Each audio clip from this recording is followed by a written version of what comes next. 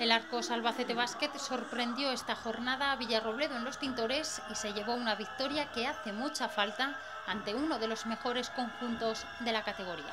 En el primer cuarto, muy igualado, los albaceteños consiguieron sus primeras diferencias al terminar 7 puntos arriba, 18-25. Los locales apretaron más en la segunda manga, logrando romper los ataques de Albacete Basket. Sin embargo, los errores en los últimos minutos del equipo de Junior pasaron factura, dejando a Villarrobledo otra vez por debajo en el marcador. Con 34-45 se llegaba al descanso. Tras la vuelta de vestuarios, Villarrobledo una vez más se fue acercando al marcador y consiguió un parcial de 11-3 que le permitió quedarse a solo tres puntos de los albaceteños. Albacete Basket, por su parte, sufrió algo más, el bajón y cedió cancha a los locales que acabaron ajustando el electrónico. 50-51 al final de la manga y con todas las espadas en alto para el desenlace.